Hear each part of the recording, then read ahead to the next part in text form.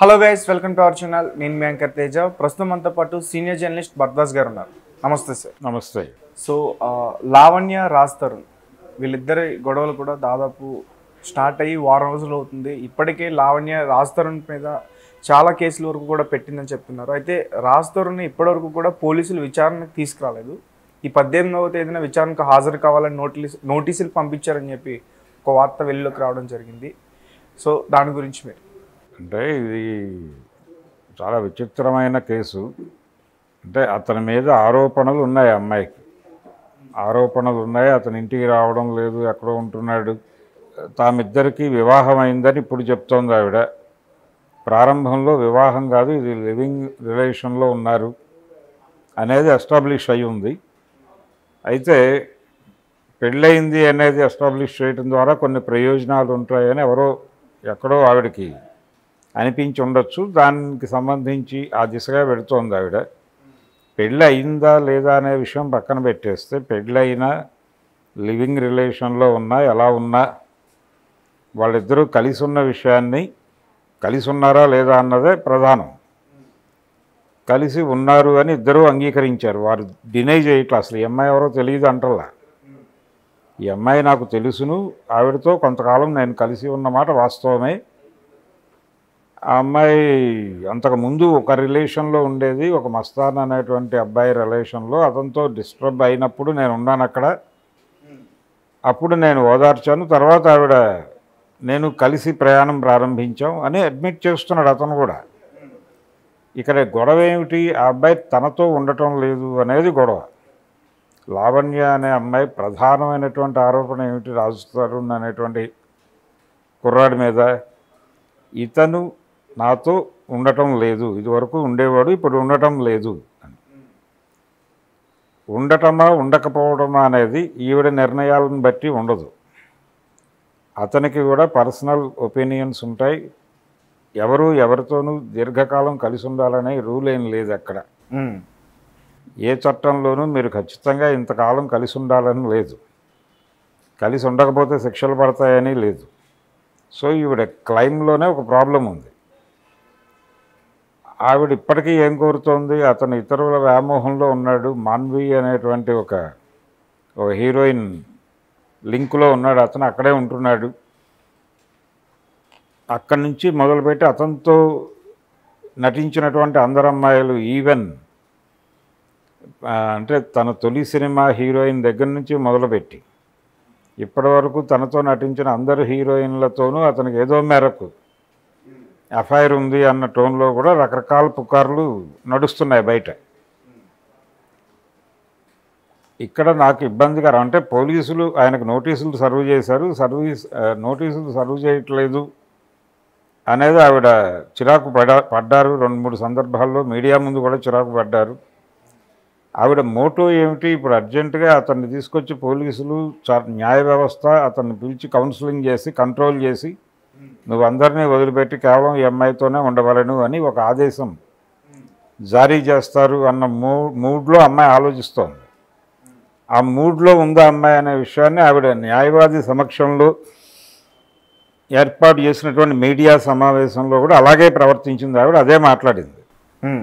జనరల్గా ఇద్దరి మధ్య విభేదాలు వచ్చినప్పుడు విడిపోవడం అనేది అవతల మనిషి కలిసి ఉండలేను అని అవతల మనిషి చెప్పినప్పుడు అతను ఆ పరిధిలో అక్కడ కూడా ఆగట్లా. ఇంకా ఎక్స్ట్రీమ్కి వెళ్ళి అమ్మాయిని కొంచెం మీడియా భరించలేని భాషలోకి వెళ్ళి మరీ కామెంట్ చేస్తున్నాడు.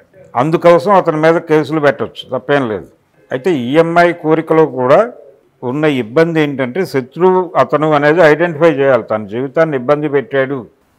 అని అనుకున్నప్పుడు అతనితోనే ఉంటాను అని అడగ అంటం అనేది మొండి పట్టుదల అమాయకత్వం ఇన్నోసెన్స్ అతను ఇబ్బంది పెడుతున్నాడు అనే విషయం నీకు అర్థమైనప్పుడు వదిలేయాలి కదా. ఎవరైనా ఒక ఆఫీస్లో జాబ్లో ఉంటాడు ఒక అతను జ ఉద్యోగం సరిగా చేయకపోతే తీసేస్తాడు. వాళ్ళిద్దరూ రిలేషన్లో ఉన్నారు. అతను తన బాధ్యతలు సక్రమంగా నిర్వర్తించడం లేదు ఈఎంఐ పట్ల సక్రమంగా వ్యవహరించడం లేదు అన్నప్పుడు పంపించేయటమే. బ్రేకప్ పార్టీలు ఎందుకు జరుగుతున్నాయి బయట? కలిసి ఉన్నప్పుడు అంటే కలిసి ఉండటం కోసం ఒక ప్రో ఒక పార్టీ చేసుకుంటారు. అది దేనికి? ప్రపంచానికి మేము కలిసి ఉంటున్నామని చెప్పడానికి. అయిపోయిన తర్వాత బ్రేకప్ పార్టీ ఎందుకు చేసుకుంటున్నారు? మేము విడిపోయాము కాబట్టి మేము వేకెంట్గా ఉన్నామనే విషయం ప్రపంచానికి చెప్పడం కోసం. ఇది కదా ఊరేగింపు అనే పదానికి ఈ మధ్య కోట శ్రీనివాసరావు గారు ఒక అద్భుతమైన అర్థం చెప్పాడు. ఊరికి ఎరిగింపు అని ఊరికి తెలియజేయటం కోసం చేసేది ఊరేగింపు అని. అలాంటిదే ఈ ప్రోగ్రాం కూడా ఇలాంటి బ్రేకప్ పార్టీలు ఇలాంటివి కూడా. ఊరికి ఎరిగించిన తర్వాత ఊరు ఏ నిర్ణయం తీసుకుంటుందో తర్వాత చూద్దాం అనే పద్ధతి. కాబట్టి ఇక్కడ ఈ విషయం చాలా సున్నితమైనది సెన్సిటివ్ విషయం పర్సనల్ ఏరియాలతో లింక్ అయి ఉన్న విషయం.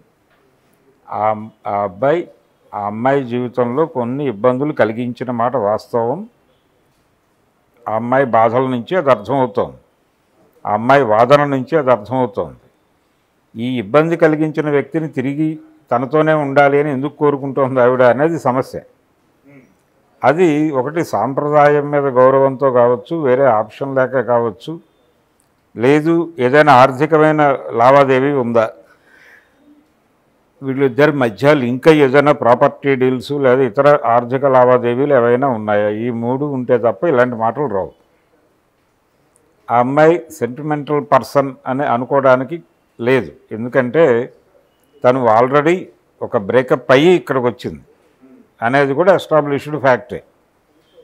సో ఇక్కడ ఎందుకు అంత సెంటిమెంటల్గా ఫీల్ అవుతోంది? ఎందుకు ఇతనితో అటాచ్ అయ్యి నడవాలనుకుంటోంది? ఆవిడ ఇతనితో కలిసి ఎందుకు ప్రయాణించాలనుకుంటోంది? అనేది ప్రశ్న. సో వాళ్ళిద్దరి మధ్య ఆ అంటే సెంటిమెంటల్ గొడవ లేదు. ఉంటే గింటే ప్రాపర్టీస్కి సంబంధించి ఏదైనా గొడవ ఉండుండాలి. ఓ డిస్ప్యూట్ దాన్ని సెటిల్ చేసుకుని ఆ అమ్మాయిని ఆ అమ్మాయికి కావలసింది ఏమిటో చూసి సెటిల్ చేసి పంపించేయడం బెటర్. ఆ ప్రతిపాదన ఏదో జరిగి ఉండొచ్చు అమ్మాయి వైపు నుంచి కూడా. అంటే మొన్న న్యాయవాది సమక్షంలోనే న్యాయవాది మాటలని మీరి మాట్లాడింది ఆవిడ. ఆ మాట్లాడినప్పుడు ఆయన కొంచెం షాక్ అయ్యాడు. ఇదేంటి ఇలా మాట్లాడుతోంది అమ్మాయి అంటే కన్ఫ్యూజన్గా మాట్లాడుతోంది.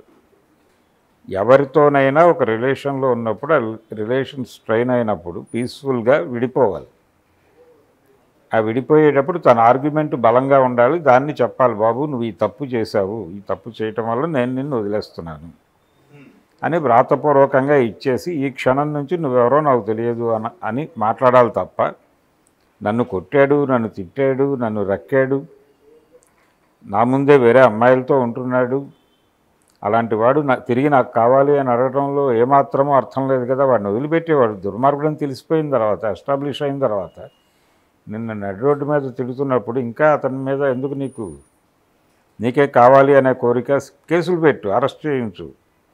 క్రిమినల్ కేసులు పెట్టించు. వాటి మీద అంటే నీ మీద టార్చర్ పెట్టిన దానికి ఏదైనా ఆధారాలు ఉంటే దాన్ని ఎస్టాబ్లిష్ చేసి కేసులు పెట్టించి అతనికి శిక్షలు పడేదాకా పోరాటం చేయి. అది ఓకే. లేదు అంటే వదిలిపెట్టి. టోటల్గా వాడిని వదిలేసే మర్చిపో వేరే నీ జీవితం ఉంది నీకు. ఆ జీవితంలో ముందుకు కొనసాగి. ఇతనితో పాకులాడటం ఎందుకు? ఇతని కోసం ఇంత టైం స్పెండ్ చేయటం ఎందుకు నువ్వు అనవసరంగా? నీ జీవితం ఒకటి ఉంటుంది కదా దానిలో నువ్వే ప్రధానం కదా. నీ జీవితంలో ఏది జరిగినా నువ్వే బాధ్యురాలివి కదా. కాబట్టి నీ జీవితాన్ని ముందుకు తీసుకెళ్ళడం కోసం నువ్వేం చేయాలి దాని మీద దృష్టి పెట్టి ఈ గోల ఇక్కడితో వదిలేసి కావాలంటే నాలుగు క్రిమినల్ కేసులు దానికి సంబంధించిన మోటో పెట్టేస్తే పోలీసులే తీసుకొచ్చి కాగల కార్యం పోలీసులు చేశారు అన్నట్టుగా తీసుకెళ్ళి ఏదో ఒక స్టేషన్లో పెట్టి వదిలేస్తారు. దాని మీద ఫోకస్ పెట్టి ఫోకస్డ్గా పనిచేయ ఒక బలమైన అడ్వకేట్ ఎలాగో ఉన్నాడు ఆవిడకి. ఆయనకు కొంచెం సమాచారం చెప్తే వాళ్ళు ఆ పద్ధతిలో వెళ్ళి చేసుకుంటారు. ఎంఐ సెంటిమెంట్ అవుతోంది తర్వాత ప్రాక్టికాలిటీకి సెంటిమెంట్కి మధ్యలో కొట్టుమిట్టాడుతోంది. ముందు దానిలో నుంచి బయటకు వచ్చేసి తను ఏం చేయాలనే దానిలో ఒక నిర్ణయం తీసుకోవాలి. ఒకవేళ అతనితో కలిసి కొనసాగాలి అనుకుంటే ఇలా కేసులు పెట్టి టెర్రరైజ్ చేసి కలుపుకొని ఉందామని అనుకుంటే అది పొరపాటే. అది టెంపరీగా ఈ కేసుల నుంచి బయటపడటానికో మరో దానికో అతని అమ్మాయితో లొంగి ఉండొచ్చు కానీ అతని మనసులో నుంచి రాని భావం అది. మనసులో నుంచి భా రాని భావం ఎంఐ రప్పించడం చేత కలుస్తున్నాను అనేది అతను రకరకాలుగా చిరాకుని వాళ్ళ కలిసి ఉన్నప్పుడు వ్యక్తం చేయగలడు. దానివలన మరింత టార్చర్ అవుతుంది అమ్మాయి. అందుకని వన్స్ వద్దనుకున్న వాడితో కలిసి ఉండటం ఒక్క రోజు కలిసి ఉన్నా ఒక క్షణం కలిసి ఉన్నా తప్పే. అందుకని ఆ అమ్మాయి డెసిషన్స్లో గందరగోళం ఉంది. వదిలిపెట్టేసి ఆవిడ జీవితం ఆవిడ చూసుకోవడం మంచిది. Okay sir. Thank you so much.